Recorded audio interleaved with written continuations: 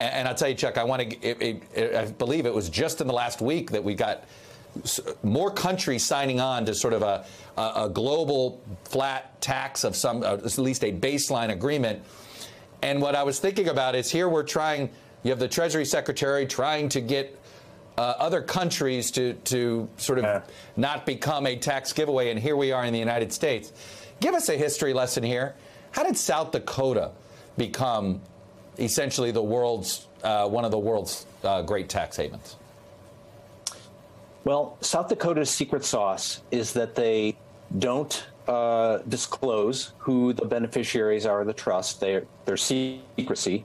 Secondly, they don't charge any taxes, income tax or, or taxes on the trust assets.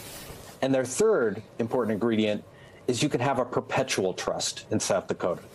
So starting in 1983, the trust industry went to the state and they changed the laws to eliminate uh, a provision of property law that basically says a trust has to wind down within a generation or two.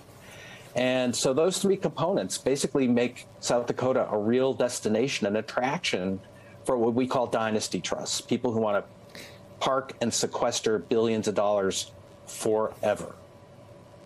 I, what I can't figure out here is what benefit an average resident of South Dakota gets from this.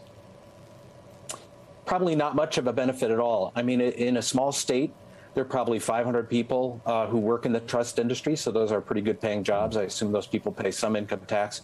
But otherwise, there's not a lot of benefit to the people of South Dakota.